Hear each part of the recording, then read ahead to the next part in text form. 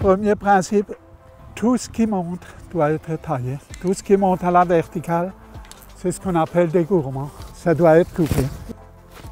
Voilà, ça doit être coupé.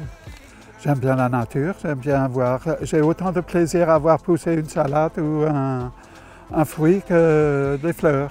J'ai l'âme paysanne, voilà. Je, je descends de paysan.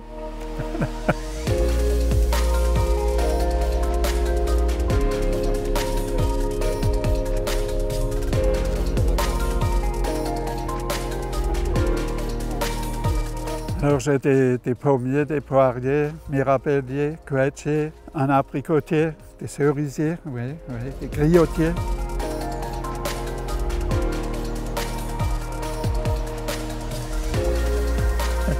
On le distribue aux voisins, on fait de la confiture et des tartes, on en met au congélateur et on ne distille plus. Hein.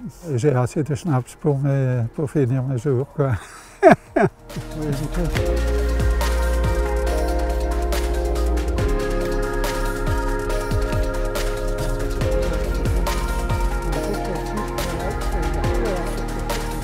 On apprenait quelque chose, on apprenait à, à tailler et après c'était récréatif, ça suivait toujours avec un café en hiver quand il fait froid, avec un café et un morceau de tarte ou de kouglouf, voilà.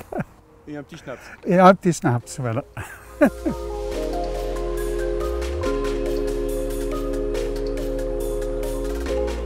Je commence par tailler les pruniers, quetchés et mirabelliers, quand les feuilles tombent. Voilà.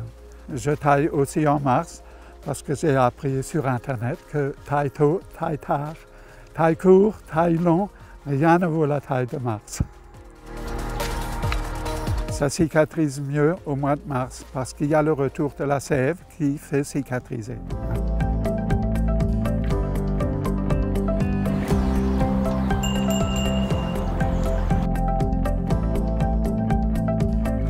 Je me sens bien, je, me sens, je suis le plus heureux des hommes quand je suis ici.